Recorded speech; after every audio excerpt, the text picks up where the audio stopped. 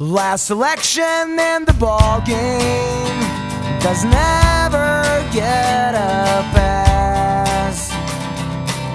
Not appreciated just his first name. He's the scapegoat of the class. There are no friends to cheer him up, and no girls, no sweet romance. And it's impossible to expand when you never get a second chance.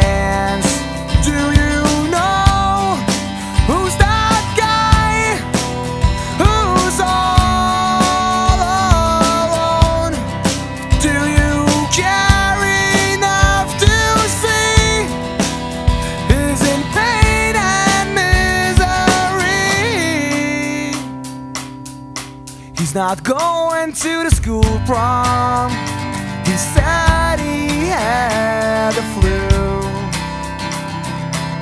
Jumped up excuses as he told mom, I'm safer here with you.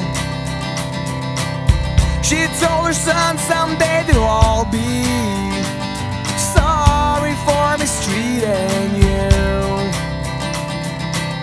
Don't be afraid, son, and trust me. You'll be someone they will look up to.